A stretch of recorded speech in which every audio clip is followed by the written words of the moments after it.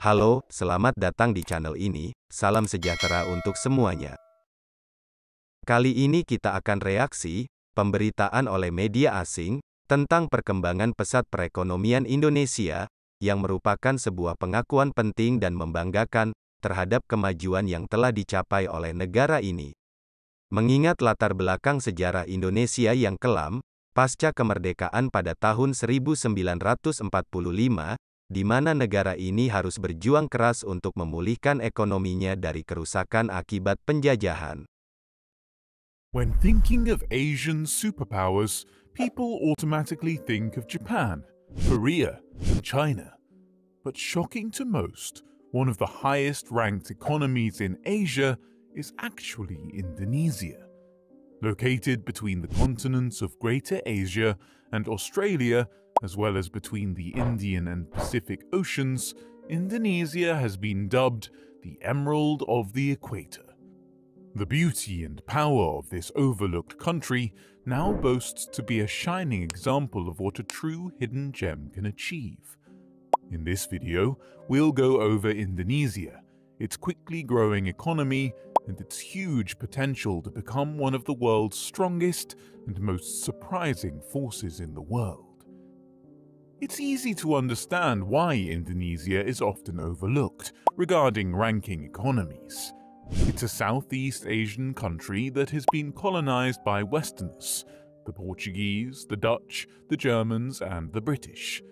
Colonized countries tend to have weaker economies due to their need to recover from their losses during colonization. Naturally, Indonesia had to recuperate its losses from all the years under foreign rule from its year of independence in 1945 until before the introduction of the new order in the 1960s, Indonesia's economy was deplorable, to say the least. The colonization of foreign forces heavily impaired Indonesia's production and export of rubber and oil. Following this, Indonesia's attempt to quickly repair economic conditions was macroeconomic solutions while ignoring microeconomic problems, resulting in inflation, poverty, and hunger. Fortunately, the years after the 1960s were the turning point. The New Order administration, led by then President Suharto, was put into effect and stabilized the currency, decreased inflation, and attracted foreign aid and investment. They solely focused on revitalizing the economy while enforcing strict laws which improved the country's overall organization. The reforms in the country's policies in the 1980s resulted in an even better rise in the economy. In fact, from 1989 to 1997, Indonesia's economy was growing at an amazing rate of 7% during this time frame. While the 1997 Asian financial crisis didn't spare Indonesia, the country was quick to its feet and continued its economic growth. While Indonesia's GDP has seen Ketika media asing membahas tentang pertumbuhan ekonomi Indonesia, itu bukan hanya sekedar angka. Mereka sebenarnya sedang mengakui bagaimana Indonesia berhasil mengatasi masa lalunya yang berat, dan sekarang menjadi salah satu negara dengan ekonomi kuat di Asia. their economy performing well. Manufacturing is the biggest contributor to Indonesia's economy, which is responsible for around 20% of the country's GDP. Textiles and garments, food and beverages, electronics, automotive, and chemicals are the most mass manufactured industries in Indonesia. In fact, Indonesia is currently the 10th largest manufacturing nation in the world. In addition, Manufacturing employs one fifth of Indonesia's working age, employing about 25 million workers.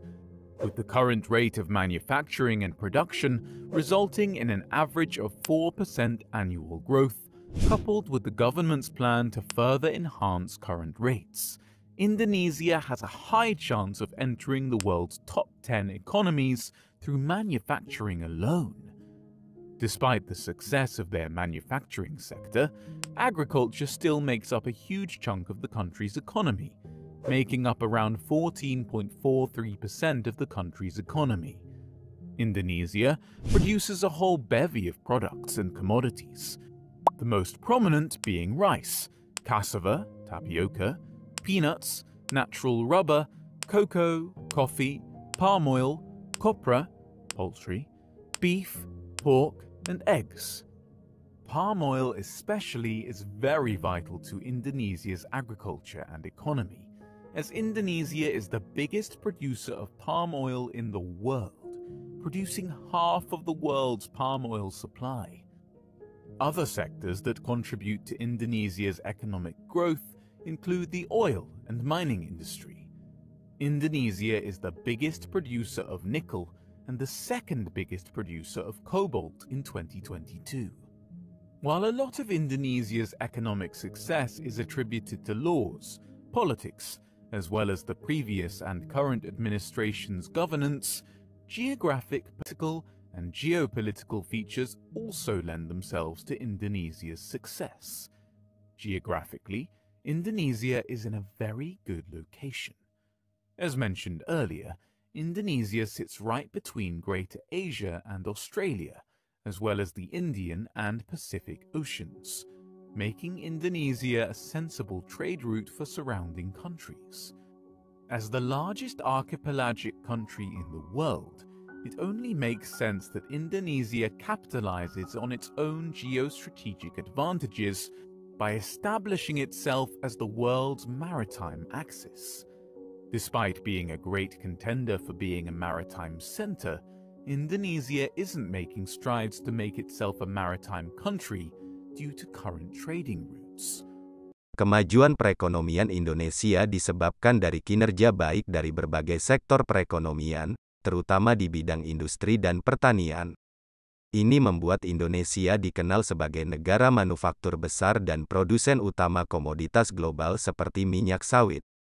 Dengan letak strategis dan diversifikasi ekonomi, Indonesia berpotensi besar dalam perekonomian dunia. As a top Asian superpower, is the fact that Indonesia is the de facto leader of ASEAN, ASEAN, which is the Association of Southeast Asian Nations. Indonesia is a founding member of ASEAN, which was established in 1967.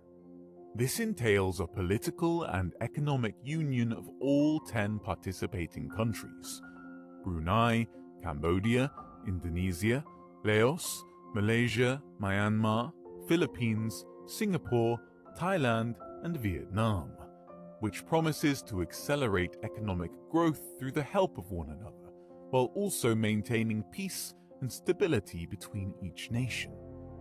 Indonesia is also a member of APEC, or the Asia Pacific Economic Cooperation, an intergovernmental forum that consists of Asian countries as well as other countries surrounding the Pacific Ocean, such as Australia, New Zealand, Papua New Guinea, Peru, and the United States, among many other countries.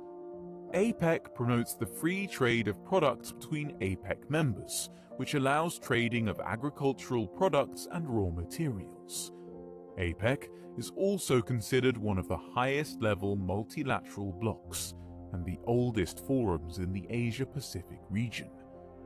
Because of Indonesia's rising potential to become a superpower, as well as its strategic geographic location, established superpowers like China and the United States are both seeking to strengthen their continued relationship with Indonesia.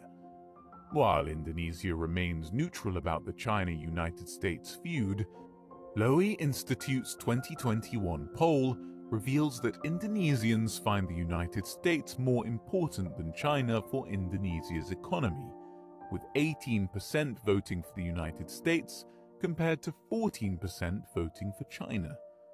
Additionally, 4 in 10 Indonesians prefer investments from the United States, compared to 3 in 10 from China. As it stands, Indonesia remains neutral and has no bias to where it sides, though the interest of the two most powerful nations in the world shows how important Indonesia is, causing a cascading effect of foreign investors to be more attracted to Indonesia. Indonesia had a roaring 2022 with an economic boom of 5.3%, the highest since 2013, and it looks like the country's economic streak has no end in sight. Indonesia remains the world's top producer of nickel and palm oil, and the second best to many other products. While the Indonesian government states that 2023 might not be as strong of an increase like 2022, the government is still positive that a 5% increase is possible for 2023. Indonesia is still on track to fulfilling its 20-year RPGMN plan in hopes of fully realizing the goal of the plan, with outlooks looking positive given the current state of the growth of the country's economy. Needless to say, Indonesia has earned its rightful place at the top spot of the ASEAN economy rankings and is headed to be one of the top 10 economies not just in Asia, but across the whole world as well. Berita-berita positif ini tidak hanya membuat Indonesia terlihat lebih baik di mata dunia, tapi juga bisa membuat lebih banyak investor dari negara lain tertarik untuk menanamkan uangnya di Indonesia. Ini berarti bisa ada lebih banyak kesempatan untuk Indonesia tumbuh lebih jauh lagi. Pesannya adalah, dengan pemimpin yang bijak dan kebijakan yang tepat, negara yang pernah mengalami masa sulit, seperti penjajahan dan krisis ekonomi bisa bangkit dan sukses di tingkat global. Jadi, semua cerita positif tentang ekonomi Indonesia ini, sebenarnya adalah bukti, bahwa Indonesia telah maju jauh dan bisa menjadi contoh bagi negara lain, yang punya sejarah serupa untuk terus berjuang, demi kemajuan ekonomi dan kehidupan yang lebih baik bagi rakyatnya.